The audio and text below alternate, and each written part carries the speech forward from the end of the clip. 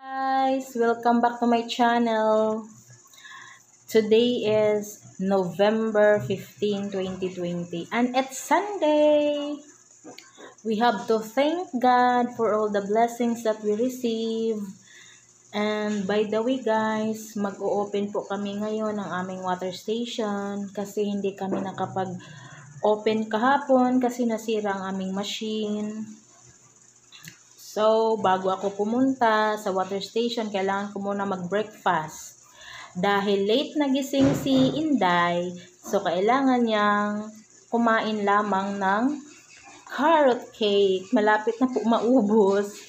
With, di pa nakontento, with skyflakes and coffee. So, that's it kailangan mo na kumain bago pumunta sa business natin. Mm.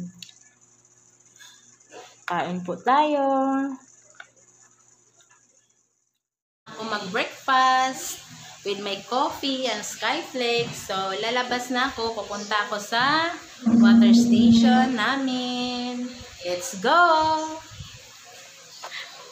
Hello, Chito! Uh, say hi! Ayan. Ayan po siya. Nag-re-refill. Hmm. Ayan.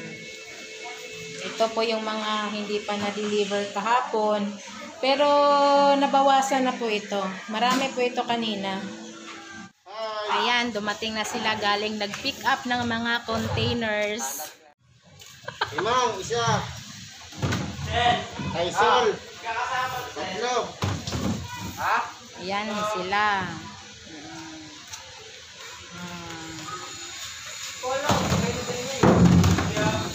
Sino ba? Ay, guys, apat.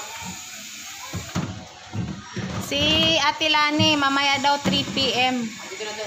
Ah, may tao na pala. Ah, okay.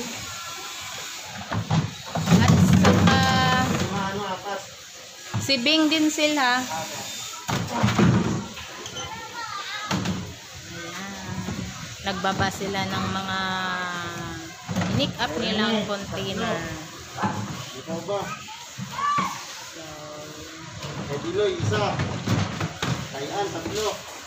Ayan. Kapitbahay namin bumili ng tubig. Hi.